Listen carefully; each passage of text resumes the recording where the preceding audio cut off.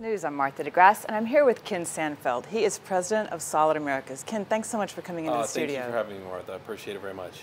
So Solid has, for a while now, been at the forefront of promoting indoor building solutions that are really accessible to the enterprise customers. And we had this conversation about a year ago, so I think we'd be really interested in hearing what's new since then, what's developed.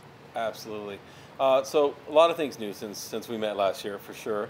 Uh, the enterprise middle middle price space is continuing to mature and develop uh, at quite a rapid pace. And so, uh, in, in response to that, Solid is continuing to innovate new solutions.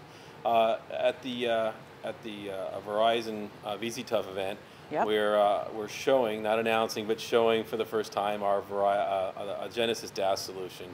And so that's, um, that is the solution that we're ultimately positioning for the enterprise middle price uh, segment of the marketplace. And uh, it is the fastest growing segment, it is the largest segment, and it's, it's where there's a lot of demand for solutions. So still very, very focused on that. And, uh, and, and, that's where you're going to see Solid uh, bringing out all kinds of innovations to solve for those problems. Okay, great. So just for people who might not know, middle price, these are buildings that are big enough to perhaps pay for their own system, but not big enough that a carrier would pay. Is that right? Yeah, you know, middle price really defined as absolutely projects where you know the the operator is not necessarily going to fund anything, and the project may be the signal source. Uh, it's a smaller project. The, the, enterprise, the middle price, wants to fix the solution, um, or find a solution to their coverage and, and capacity problems for wireless, and they're willing to invest in the infrastructure uh, and they're, they're looking for a way to solve for that. Uh, it's typically 100,000 to 500,000. Uh, it's not the small projects where the carriers have all kinds of tools and solutions for. It's not the bigger projects where there's base stations and DAS and small, all kinds of big equipment. It's that middle segment that's really hard to, to solve for. Uh, and the enterprise is now at a point where they're willing to spend on those things and they're willing to solve for those. And the carriers are looking to also, you know, Verizon at this event here is looking to really provide solutions to make that possible as well.